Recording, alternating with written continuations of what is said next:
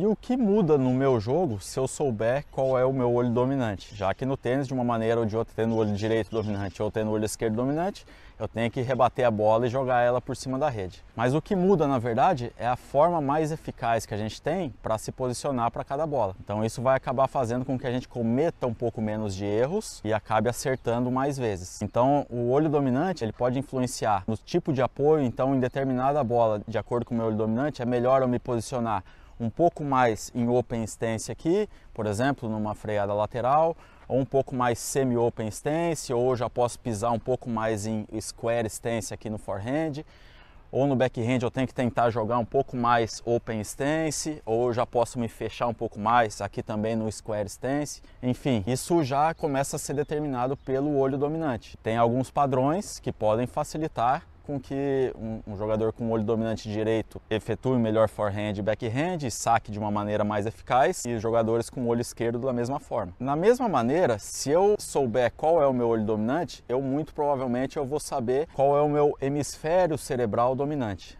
porque as informações elas passam de forma cruzada. Então a informação que entra no meu olho esquerdo, ela passa de forma cruzada para o meu cérebro e essa informação é codificada no meu lado direito do cérebro. E a informação que entra no meu olho direito, ela é codificada primeiro aqui no meu lado esquerdo do cérebro.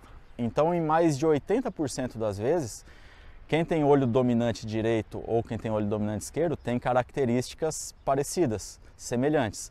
Então, 80% das pessoas que têm olho direito pensam de uma determinada maneira e 20% pensam de outra. E no olho esquerdo a mesma coisa, 80% das pessoas que têm olho esquerdo dominante pensam de uma determinada maneira e os outros 20% pensam de outra maneira. Então, eu saber isso vai facilitar muito, eu conhecer a minha parte técnica, saber qual é o meu olho dominante, como eu tenho que me posicionar, onde é meu ponto de contato, de que maneira eu penso, isso já começa a possibilitar que eu estabeleça algumas estratégias para o meu jogo ficar cada vez mais eficaz.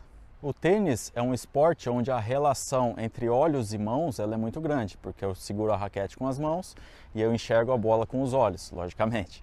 Então, essa relação óculo-manual, ela estabelece alguns padrões de lateralidade, que eles podem ser, por exemplo, se eu jogar tênis com a minha mão direita e tiver o olho esquerdo dominante, como é o meu caso, eu sou um jogador destro e cruzado, ou seja, olho esquerdo dominante e jogo tênis com a mão direita. Se eu tiver olho direito dominante e jogar tênis com a mão direita, ou seja, aqui do mesmo lado, a gente chama isso de um padrão de lateralidade homogêneo.